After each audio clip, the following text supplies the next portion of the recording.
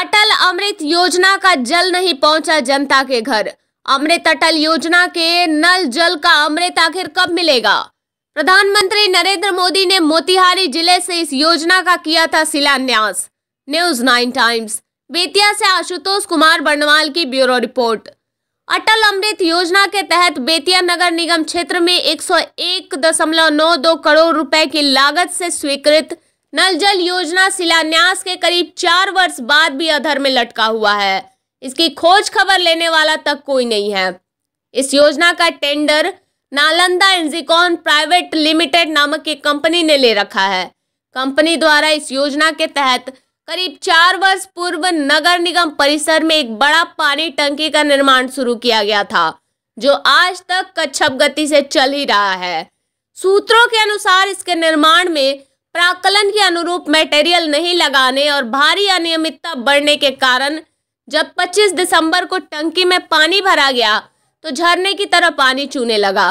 बताते चले कि इस योजना के तहत नगर निगम के कुल उनचालीस वार्डों के छह वार्ड क्रमशः 21, 23, 33, 24, 34 और 35 में पानी की सप्लाई की जानी है। नगर निगम क्षेत्र अंतर्गत अटल अमृत योजना के तहत शहरी क्षेत्र में नल जल योजना कहाँ तक सफल होगी, यह अभी समय के गर्त में है। कंपनी के सूत्रों के अनुसार, इस योजना को तीन साल में चालू कर देना था, पर कार्य कच्छप गति से होने के कारण कई बार इसकी अवधि विस्तार करते हुए 31 दिसंबर 2021 को ही चालू कर देना था।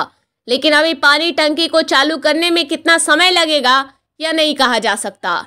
सूत्रों के अनुसार दो कंपनियों को पूरे बिहार के नल जल कार्य का टेंडर दिया गया है, जिसमें नालंदा इंजिकॉन भी सम्मिलित है। दोनों कंपनियों की कार्य इतनी धीमी गति से होने के बावजूद बिहार सरकार की नज़र इन संवेदक कंपनियों पर नहीं है। हालाँकि संवेदक सूत्रों की जानकारी के अनुसार कार्य अपूर्ण होने की जानकारी नगर विकास विभाग के प्रधान सचिव तक को है और वहीं से अवधि विस्तार दिया गया है। वहीं बुडको व नगर निगम के कन्या अभियंता मनीष कुमार ने बताया कि टंकी का कार्य अभी पूरा नहीं हुआ है और उसकी अभी प्रॉपर प्लास्टर और वाटर प्रूफिंग नहीं की गई है, जिसके कारण पानी भरने पर लीकेज कर रहा था। अभी उसमें काम बाकी है।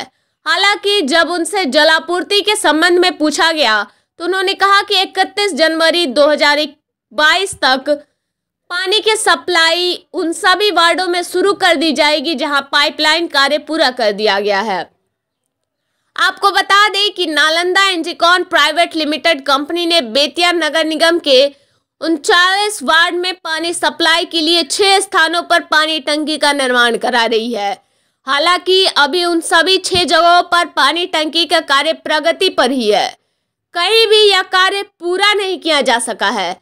नगर निगम परिसर बाज़ार समिति के समीप बसवरिया, लिबर्टी सिनेमा के समीप, उत्तरवारी पोखरा के समीप व घुसुकपुर इन छह जगहों पर टंकी निर्माण का कार्य चल रहा है। नल जल के लिए बिछाई गई पाइपलाइन के लिए शहरों के सभी गली मोहल्लों को और सड़कों को तोड़ दिया गया है और उसकी निर्माण तक नहीं कराई गई है, जबकि उप मुख्यमंत्री रेणु देवी व जिलाधिकारी कुंदन कुमार के द्वारा कई बार सड़कों की मरम्मती के लिए निर्देश जारी किया गया था, परंतु वो निर्देश भी धरातल तक पहुँचने में दम तोड़ दी। ऐसे में सरकार की अति महत्वाकांक्षी योजना के निर्माण कार्य की गति को देखकर सरकार की महत्वाकांक्षा पर तारांकित प्रश्न चिन्ह खड़ा करता है। News nine